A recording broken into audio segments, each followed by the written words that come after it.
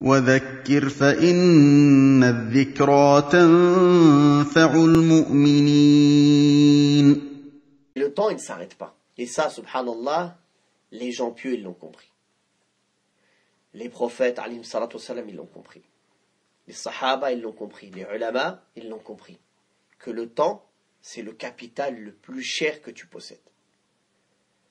Certains parmi les ulama, quand ils recevaient quelqu'un et lui parlent, qu'est-ce qu'ils faisaient Ils taillaient toutes ses mines. Ils taillaient plein de mines, comme ça, ils disent c'est le temps de gagner. Quand pour là, il me parle, je peux tailler les mines en même temps. Ma main, elle peut travailler. Comme ça, quand il parle, je peux écrire tout de suite.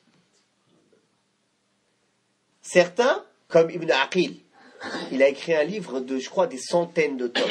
À l'époque, c'était avec de l'encre, avec des plumes. La feuille, ça coûtait cher.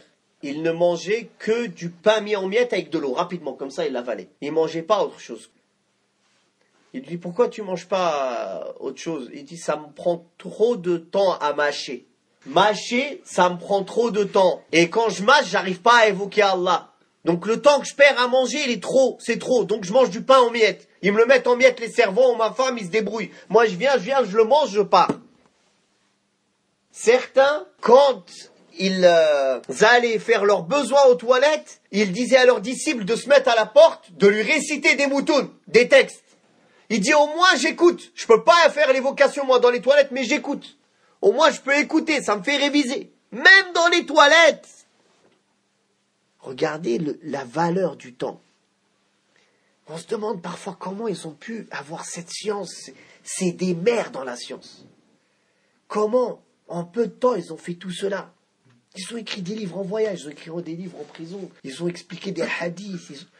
Ils tu lis des livres, tu, tu te demandes ces gens, ils ont existé, ils n'ont pas existé, ça vient d'où. C'est la réalité, c'est étonnant. C'est étonnant, la, la, la sagesse. là. C'est des- même pas des prophètes, ces gens-là. C'est des hommes. C'est des gens, c'est même pas des sahaba, c'est c'est des hommes. C'est des hommes. Subhanallah. Ils ont connu la valeur du temps. Ils ont été sincères avec Allah subhanahu wa ta'ala. Et jusqu'à aujourd'hui, on parle d'eux. On lit leurs livres, on énonce leurs noms.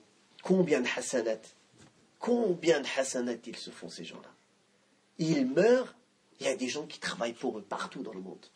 Qu'est-ce que nous, on va laisser quand on va mourir ikhwa Qu'est-ce qu'on va laisser derrière nous وقل رب زدني علما